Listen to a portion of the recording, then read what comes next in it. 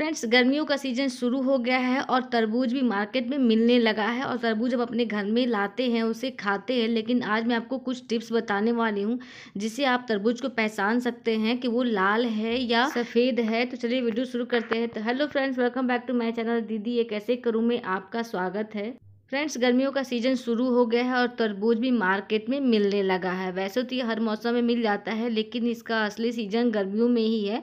गर्मियाँ बहुत पड़ती हैं और ये जो तरबूज है ना, हमारे शरीर में पानी की कमी को पूरा करता है, हमारे हेल्थ के लिए भी बहुत अच्छा होता है। लेकिन कभी कभी आपने देखा होगा, जब हम मार्केट से तरबूज लेके आते हैं तो कभी कभी वो अच्छा निकल जाता है, रेड है, मीठा है। कभी कभी क्या होता है, वाइट सा निकल जाता है और पानी जैसा लगता है, मीठा भी नहीं होता है।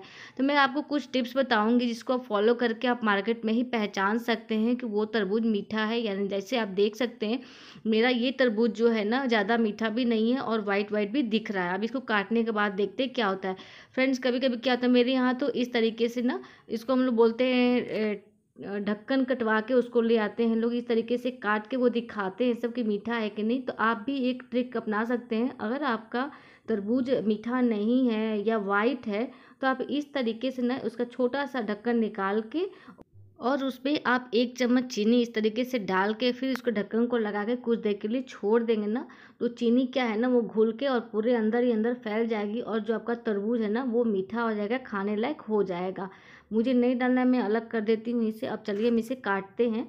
फ्रेंड्स, कुछ टिप्स अपना कर कुछ तरीके अपना कर कुछ जान के आप इसको पहचान सकते हैं ख़रीदने से पहले ही कि ये तरबूज मीठा है या नहीं है। जब भी आप मार्केट में तरबूज लेने जाएँ तो सबसे पहले ये देखें कि वो हरा है या उस पर पीले पीले चित्ती चित्ती दाग पड़े हुए हैं। अगर वो दाग है तो समझ जाइए कि वो अच्छे नहीं हैं या मीठे नहीं भी हो सकते हैं, क्योंकि नीचे ज़मीन पर रख, क्योंकि वो तोड़ के रखे जाते हैं पकने के लिए तो ज़मीन पर रखने की वजह से उस पर पीलापन आ जाता है उसके छिलके में। और जो पूरी तरह से ना हरा होता है, जो उसमें थोड़ा सा शाइनिंग होता है, वो तरबूज बहुत ही अच्छा होता है। और आप एक और तरीके से पहचान सकते हैं कि जब भी तरबूज को उठाएँ ना तो वो बहुत अगर भारी है तरबूज तो समझ जाइए कि वो तरबूज अच्छा है, उसमें बहुत पानी है और वो लाल भी होगा, बहुत वज़न होगा उसमें। कभी कभी क्या होता है ना कि आपने नोटिस किया बहुत छोटा ही तरबूज होता है, लेकिन बहुत वज़न होता है उसमें। और बड़ा तरबूज होता है, उसमें वज़न भी नहीं होता है तो इस तरीके से भी आप उसको पहचान सकते हैं। वो काटने का मैं बहुत आसान तरीका मैं बता रही हूँ। देखिए, इस तरीके से काट लेना है आपको और इसका जो छिलका है ना, वो आपको खड़े खड़े निकालने की ज़रूरत नहीं पड़ेगी। इस तरीके से आप काट लेंगे ना पतले पतले स्लाइसेज में तो आपको दिक्कत नहीं होगी। इस तरीके से आप काट लीजिए और काटने के बाद आप क्या करिए ना आप आसानी से इसे देख सकते हैं ना कि बीज कहाँ पे है। इस तरीके से बहुत आसानी से ना वाइट पार्ट छोड़ के और रेड वाला पार्ट आप निकाल सकते हैं जैसे मैं निकाल रही हूँ, लेकिन फिर भी थोड़ा बहुत वाइट आ जाए तब उसे बाद में भी निकाल सकते हैं कुछ इस तरीके से।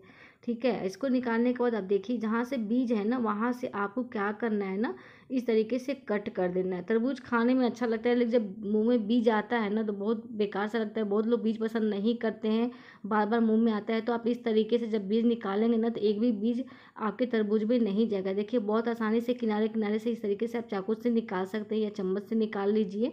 तो इस तरीके से बहुत आसानी से बीज निकल जाएगा और जिसको भी आप प्लेट में देंगे, बीज नहीं आएगा। फोक लगा के दे दीजिए, बहुत अच्छे से लोग खा लेगा। देखिए, इस तरीके से आप इसको काट के और अच्छे से दे सकते हैं। स्लाइसेज भी काटेंगे ना तो बहुत अच्छे से कट जाता है और बीज भी आसानी से एक तरफ़ ही आ जाते हैं। तो इससे क्या होगा ना कि बहुत आसानी से आप इसको काट सकते हैं और उसमें कोई बीज भी नहीं आएगा, खाने में कोई दिक्कत भी नहीं होगी। मीठे तरबूज को पहचानने का एक और मैं तरीका आपको बता देती हूँ। जब भी तरबूज आप अपने हाथ में लेना तो उस पर थपथपा के देखें। अगर भारीपन आवाज़ आ रहा है तो तरबूज आपका बहुत ही अच्छा है। और अगर आप हाथों से थपथपा रहे हैं और ढप ढप की आवाज़ आ रही है तो समझ जाइए कि वो मीठा नहीं है और वो लाल भी नहीं होगा। और जो थप थप की आवाज़ आए ना तो वो तरबूज बहुत ही अच्छा होता है तो इस तरीके से आप चेक कर सकते हैं। फ्रेंड्स, एक और तरीका मैं आपको बता देती हूँ कि आप जब भी तरबूज खरीदने जाए ना तो जो ऊपर की उसकी डंठल होती है ना तो वो एक किसी किसी की सूखी हुई होती है और किसी किसी की हरी हरी होती है।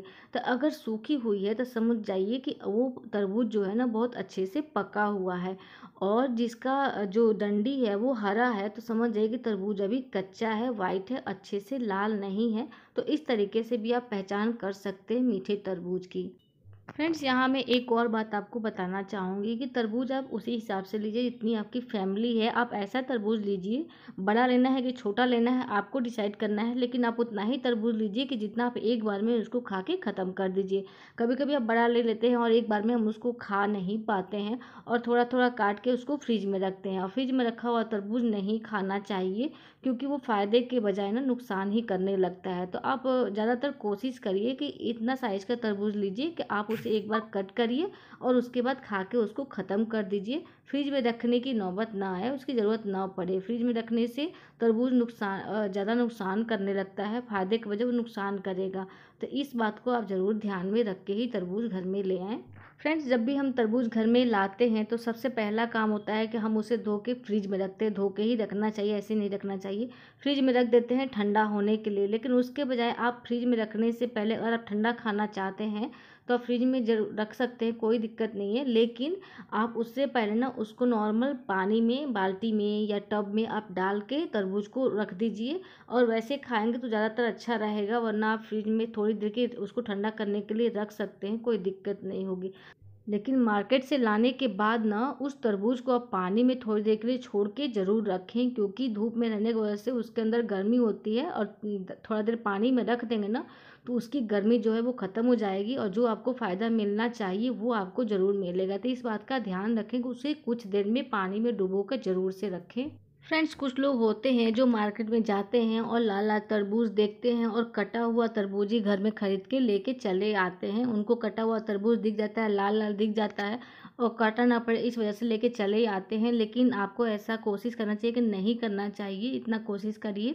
क्योंकि जिस तरबूज को वो काटे रहते हैं, जिस चाकू से, और वो एक बार काटने के बाद पता नहीं उसको दोबारा धोते होंगे कि नहीं धोते होंगे तो इसलिए ना उसमें बैक्टीरिया भी हो जाता है, वो अच्छे से हाइजीन नहीं है वो तो आप इस तरीके से क्या करिए ना कि जब भी तरबूज हो ना तो आप घर पे ले आके काटिए, उसको काटा हुआ मार्केट से कभी ख़रीद के ना लाएँ, क्योंकि वो चाकू वगैरह धोते हैं कि नहीं धोते हैं तो इसलिए ना घर में ला के ही उसको काटें, कटा हुआ तरबूज या कटा हुआ फल कोई सा भी आपको घर में लेके नहीं आना चाहिए।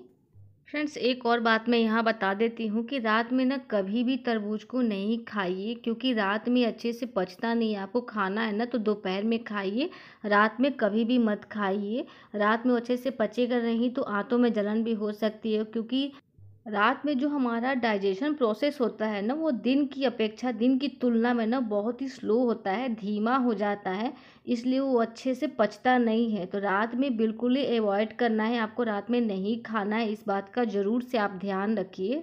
फ्रेंड्स, एक बात का और ध्यान रखें कि जब भी आप तरबूज खाएँ ना तो इसमें तरबूज में ना बहुत सारे विटामिन और मिनरल्स भरपूर मात्रा में होते हैं। तो इसके बाद प्रोटीन वाली चीज़ें नहीं खाएँ आप, क्योंकि वो आपके पेट के लिए बहुत ही नुकसानदायक हो सकता है। जैसे दूध, दही, दाल या कोई भी ड्राई फ्रूट वगैरह हुआ, ये तुरंत ना खाएँ, थोड़ी देर बाद खा लीजिए, क्योंकि इसमें इसमें भरपूर मात्रा में विटामिन और मिनरल्स हैं। तो इसको तुरंत खाने के बाद ना दूध, दाल, दही, ये सब चीज़ों को थोड़ा सा अवॉइड करिए, थोड़ी देर बाद खाइए, क्योंकि इस तरीके से मिक्स करके खाएँगे ना तो आपके पेट के लिए वो सही नहीं होगा। तो इस बात का ज़रूर ध्यान रखें। फ्रेंड्स, आई होप आप लोग को वीडियो अच्छी लगे जल्दी से लाइक कर दीजिए, सब्सक्राइब कर दीजिए। और जो लोग पहली बार मेरे चैनल को देख रहे हैं, मेरी पहली बार वीडियो को देख रहे हैं तो जल्दी से सब्सक्राइब कर लीजिए। मैं ऐसी उस वीडियो लेके आती रहती हूँ तो आई होप आप लोग को ये वीडियो पसंद आई हो तो जल्दी से लाइक कर दीजिए। तो मिलते हैं एक नए वीडियो में, तब तक के लिए बाय बाय